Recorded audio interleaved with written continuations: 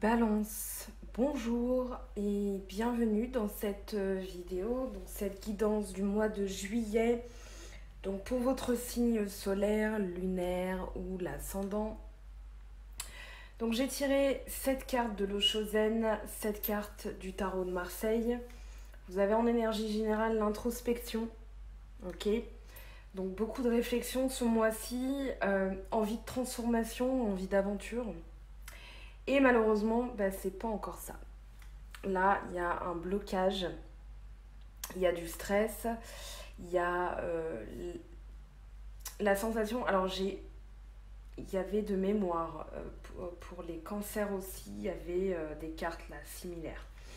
J'ai l'impression ici que vous avez voilà, besoin de retrouver avec le conditionnement, en fait, euh, vous avez l'impératrice en dessous, vous avez la justice ici, le pape, le mât, la roue de fortune. Alors pour moi, le conditionnement, c'est vraiment en fait l'idée que vous êtes euh,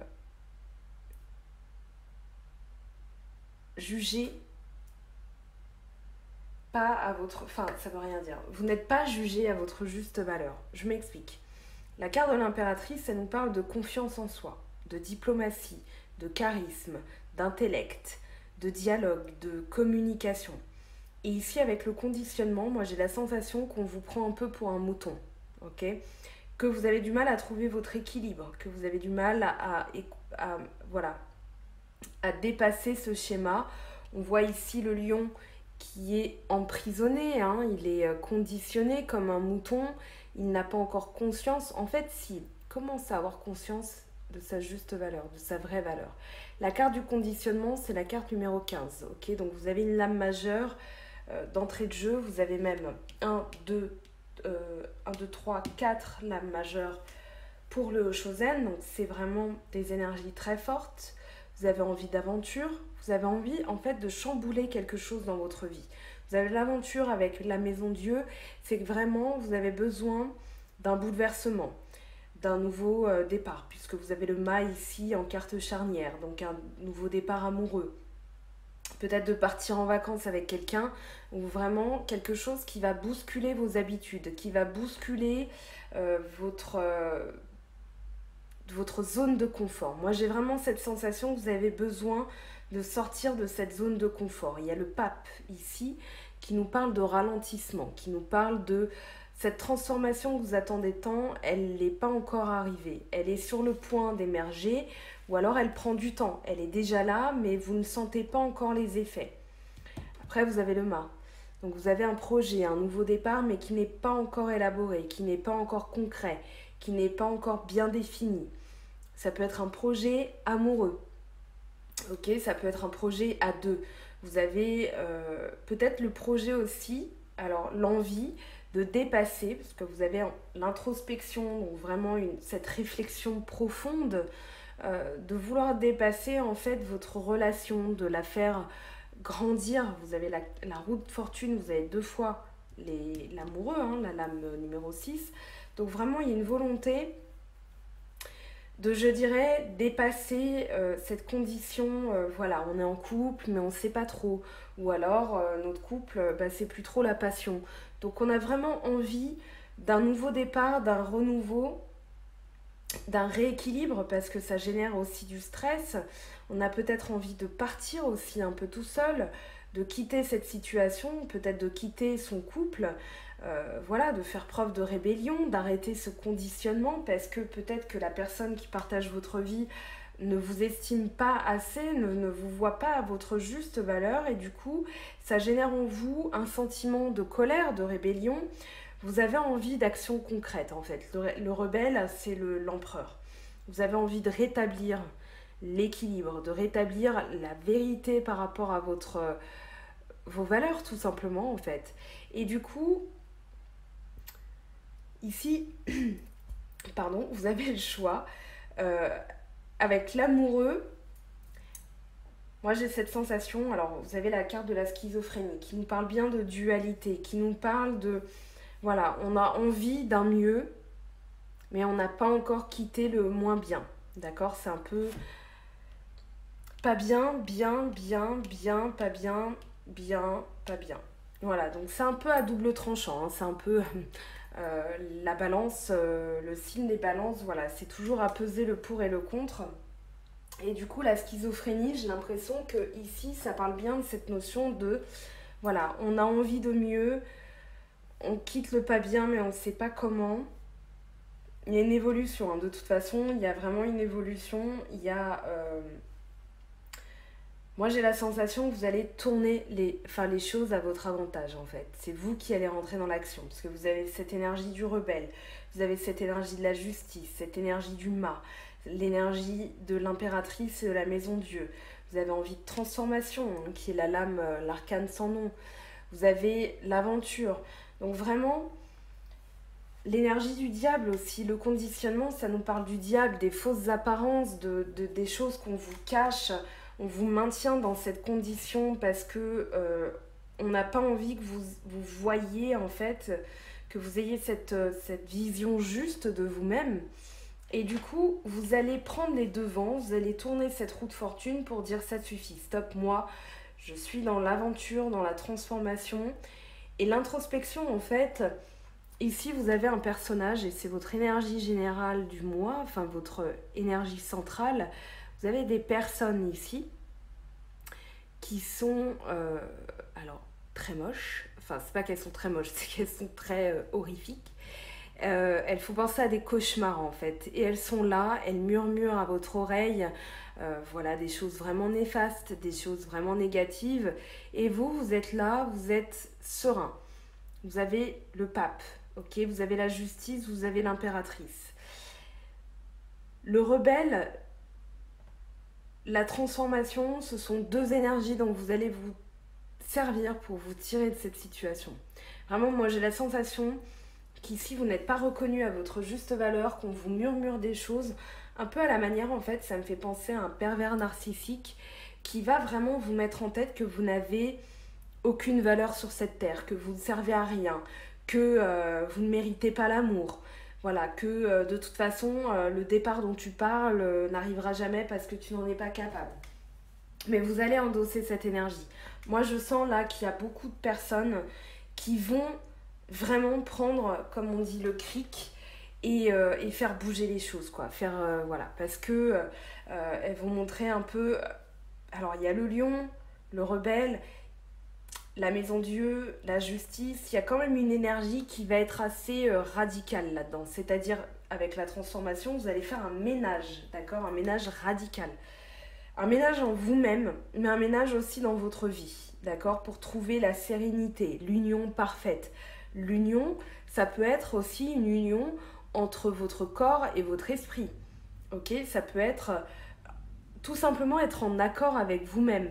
Ça peut parler euh, d'une relation qui est basée sur le physique et qui va prendre une dimension psychique aussi, une dimension d'âme sœur, de flamme jumelle. Enfin voilà, ici on a vraiment cette sensation d'élévation. Donc c'est voilà, vous allez prendre cette énergie pour faire évoluer les choses que ce soit tout seul, en couple ou euh, dans une énergie de rupture ou quoi que ce soit, en tout cas, voilà, il y a, y a cette force, il y a cette volonté en vous et il y a ce calme intérieur. C'est-à-dire que vous allez pouvoir tirer parti de la situation pour vous dire, ok, moi je sais que je mérite mieux, que là la situation elle arrive, vous avez voilà, une victoire sur le stress. Vous avez la carte du stress, mais vous avez le 7.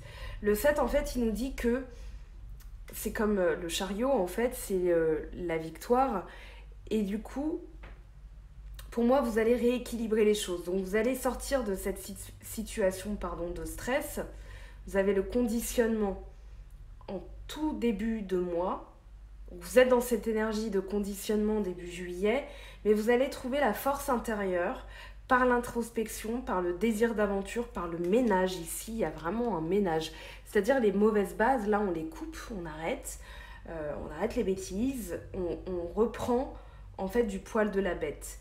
Vous avez le pape qui nous parle, euh, alors d'ici, la carte numéro 5, c'est une carte de, de, de alors c'est pas encore un changement, mais il y a une évolution. D'accord? Ici, on est à la fin du cycle. D'accord? C'est, c'est vraiment la carte de l'évolution, mais le 5, c'est déjà, on va dire que vous êtes en train de basculer dans la concrétisation des choses. C'est-à-dire qu'ici, vous avez la carte de la lenteur, vous avez la carte de la sérénité, donc transformation, introspection, pape. Vous allez ici trouver une sérénité. La sérénité parce que vous savez où vous allez aller. Le il ne sait pas où il va aller. Il ne sait pas comment il va faire, mais il y va. Et c'est ça qui vous rend serein en fait. C'est le fait de, de bouger, d'agir, d'avoir pris une décision et de ne plus rester dans ce conditionnement, dans, cette, euh, dans ces énergies négatives de personnes qui vous mettent des choses en tête. Ici, vous allez dire non, stop, je mets fin à ça, parce que derrière, vous avez la schizophrénie, vous avez envie de liberté, vous avez deux petits oiseaux ici, mais vous êtes encore entre deux, euh, entre deux eaux, d'accord, entre deux bâtiments, le vert et le rouge. Et en dessous, il y a quoi? Il y a le vide. Donc vous êtes vraiment, en fait, dans cette énergie où vous allez sauter. Euh, et donc là, vous êtes vraiment pile au milieu, hein, dans le vide un petit peu. Mais derrière, c'est pour atteindre vraiment quelque chose de plus vert, de plus serein, de plus calme, de plus... Euh, voilà, vous allez retrouver en fait votre, euh, votre vraie nature. Moi j'ai envie de dire ça, votre vraie nature. Vous allez vraiment surmonter la situation, surmonter les personnes négatives et vraiment être dans l'avancée. D'accord? Alors on va voir sentimentalement ce que ça nous dit. Je vais prendre deux autres jeux. L'oracle G et l'oracle des miroirs. Donc on va voir sentimentalement pour les personnes du signe de la balance. Ascendant balance ou lune en balance, ce que ça nous dit pour. Alors là, j'ai quoi qui voulait tomber? Ok, le hasard. Euh,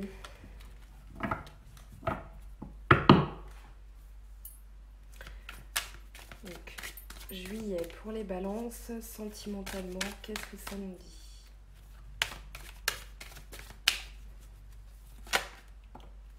Les papiers. Il va y avoir des démarches qui vont être effectuées ça peut être aussi, euh, alors tout à l'heure avec les cartes du Oshozen, ça peut parler tout simplement de, voilà, prendre les papiers à bras le corps ici, peut-être pour entamer des démarches de divorce, peut-être pour entamer des démarches de déménagement. Euh, ça peut parler de chercher un emploi. Voilà, il y a vraiment quelque chose ici qui se passe au niveau administratif. C'est peut-être ça la lenteur un petit peu, l'introspection, c'est que on va plonger dans des démarches de manière à pouvoir améliorer son quotidien. Que ce soit divorce, déménagement, euh, euh, ça peut être aussi des démarches administratives euh, du, type PAX, aller à la mairie pour se marier, enfin voilà. on va voir ce que nous disent les de l'oracle G.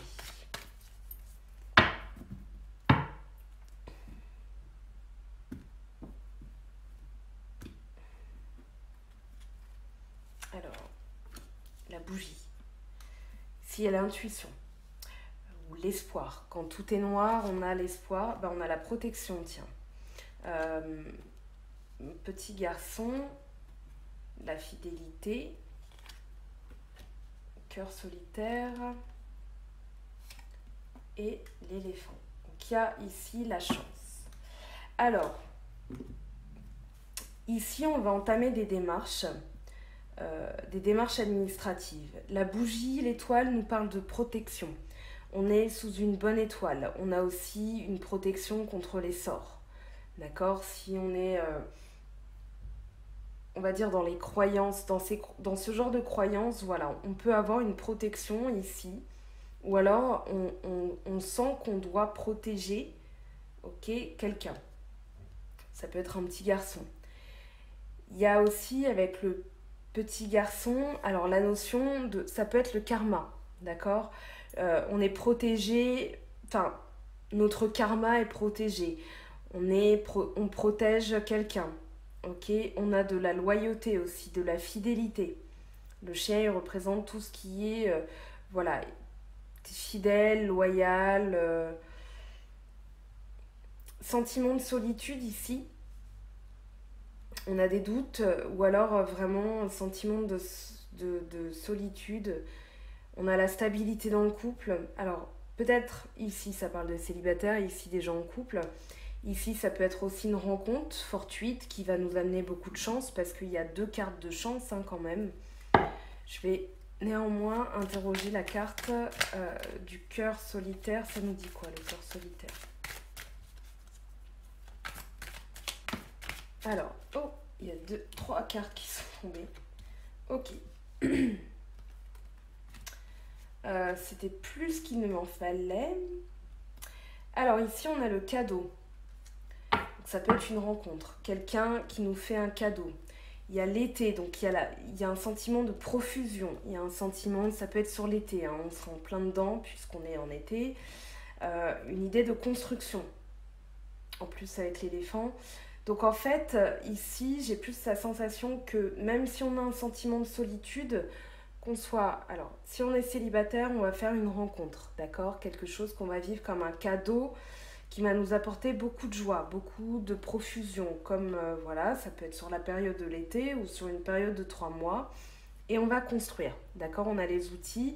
Donc on a ici vraiment une idée de construction avec quelqu'un.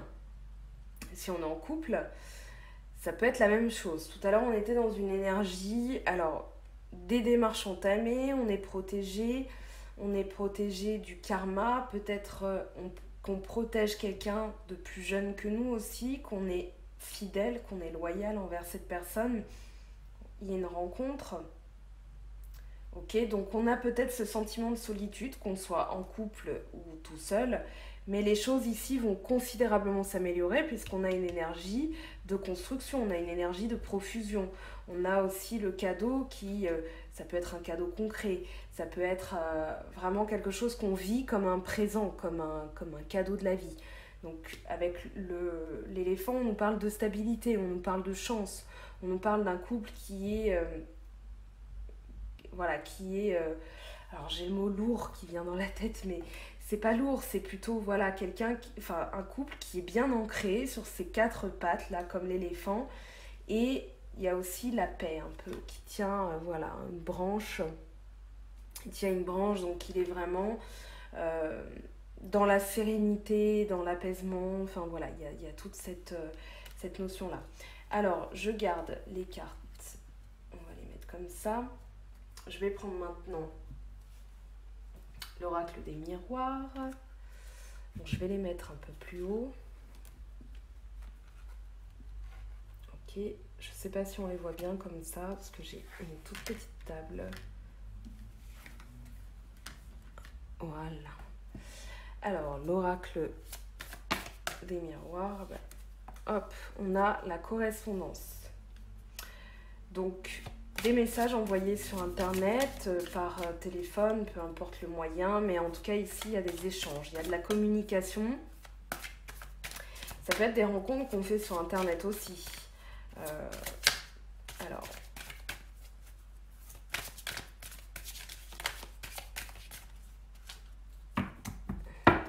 les balances sentimentales, juillet. Alors, hérédité.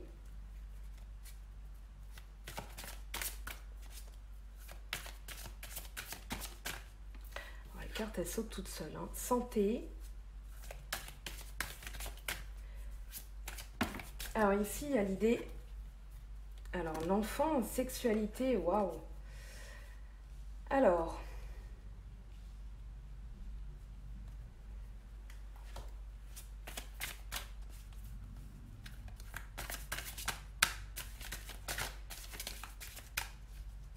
peut-être qu'on communique avec quelqu'un au sujet euh, de ce qui va être euh, la famille. Voilà, qu'on a un projet d'enfant. On discute peut-être euh, aussi avec un médecin par rapport à des héritages de santé. Hein. Ça peut être, voilà, est-ce que mon bébé a des risques de devenir, enfin d'être cardiaque? Je sais pas, hein, je, je, dis ça comme ça. Parce qu'on a la sexualité, on a l'enfant, la santé. Donc ça peut être des discussions aussi par rapport à... alors, séparation. Comme je disais, des démarches hein, ici avec les papiers, ça peut être des démarches de séparation.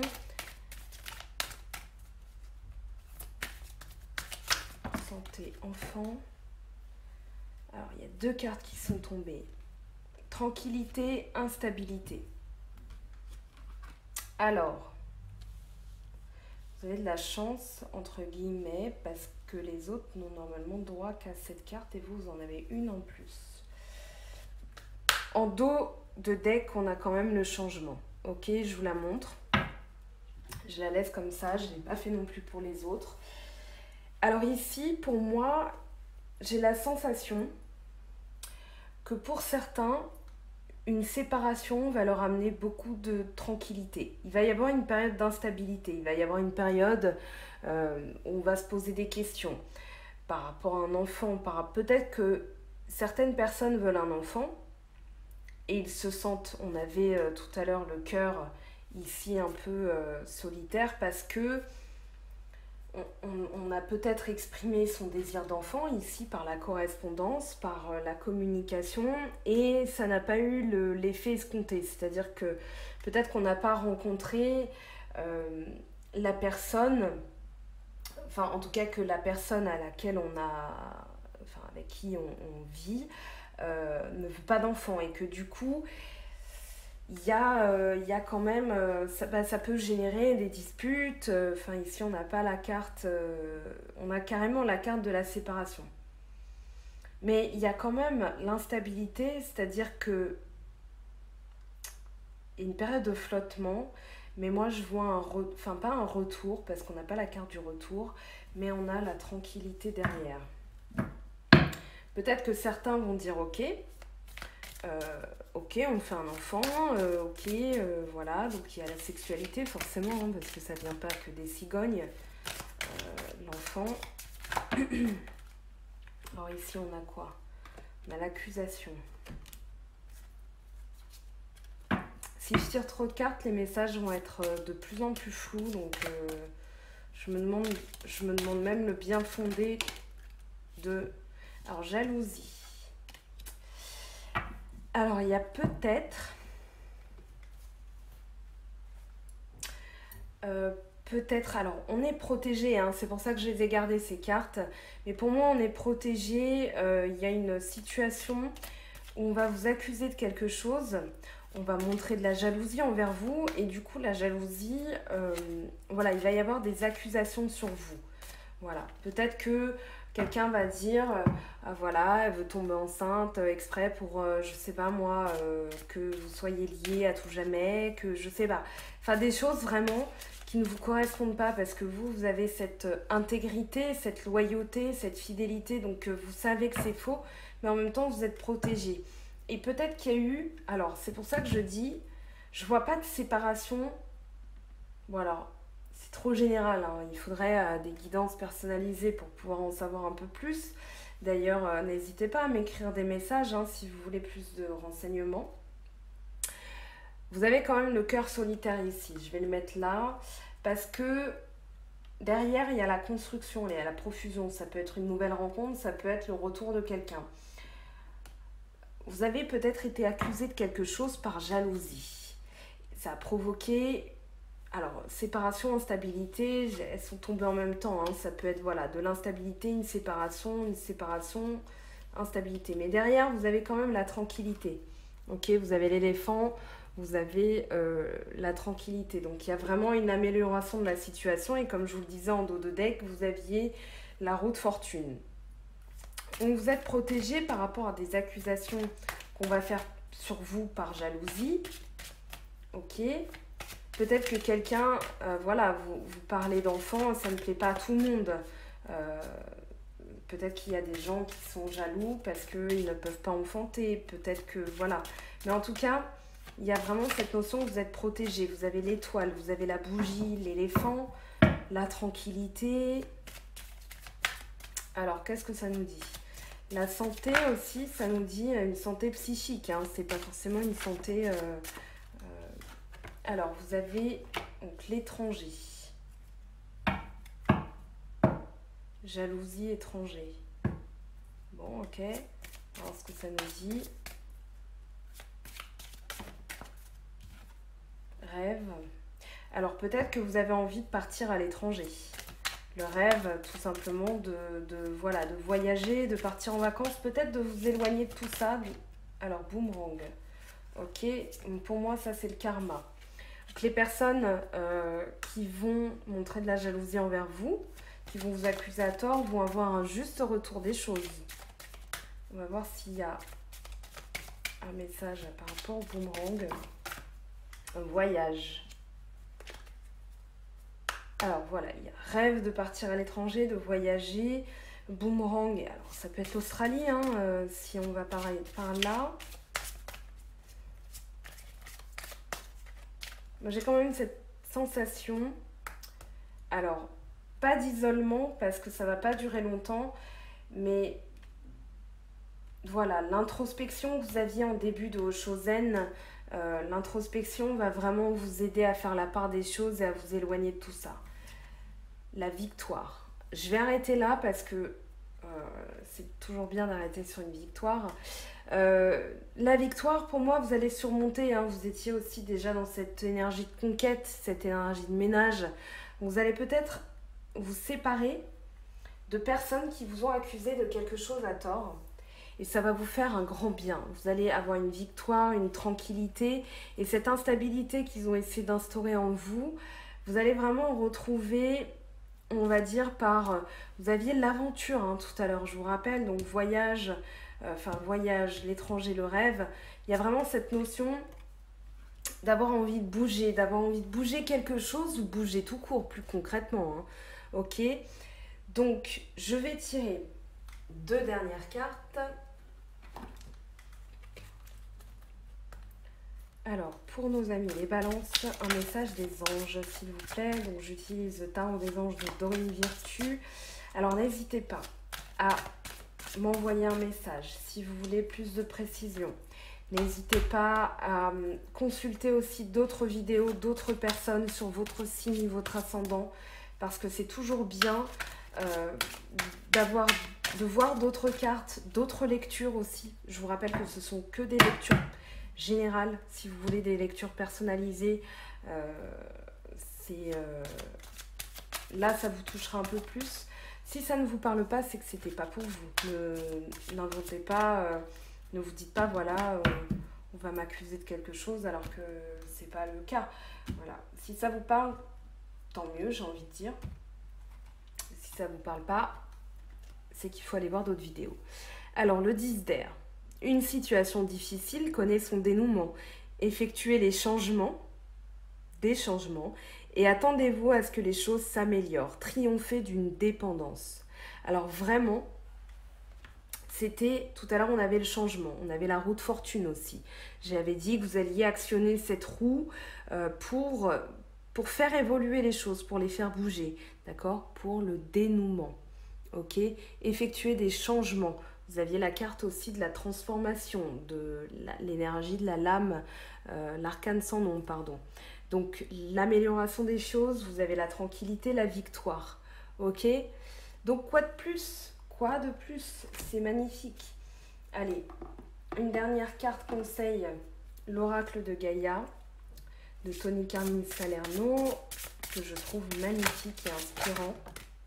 Voilà, elle est tombée toute seule. Donc, Déesse du clair de lune. Émotion refoulée, guérison, reflet.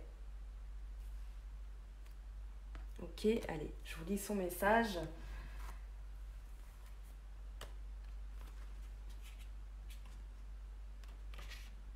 Donc, la déesse du clair de lune.